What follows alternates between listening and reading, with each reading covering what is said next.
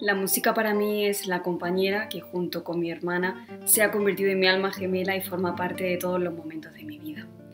Grabé estas piezas en particular porque me identifico mucho con ellas y siento que son un reflejo de mí misma. Gracias a ella he pasado muy buenos momentos representando a España en varias embajadas españolas en todo el mundo.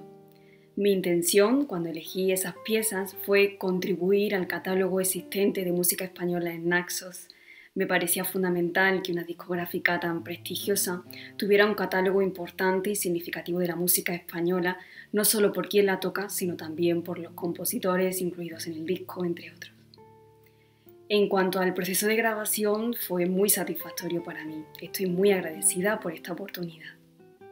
Soy una persona muy trabajadora. Mi eslogan siempre ha sido la constancia y la disciplina en mi trabajo, intentando disfrutar del camino que me lleva a cada logro. Y eso es lo que he hecho, disfrutar de todo lo que estoy haciendo con el álbum, desde las fotos, la grabación del vídeo, etc.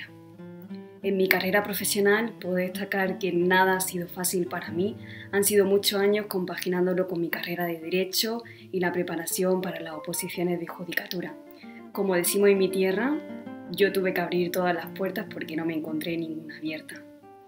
Lo que espero del disco es simplemente que reciba esa respuesta que tuvo el anterior álbum y para mí sería muy gratificante.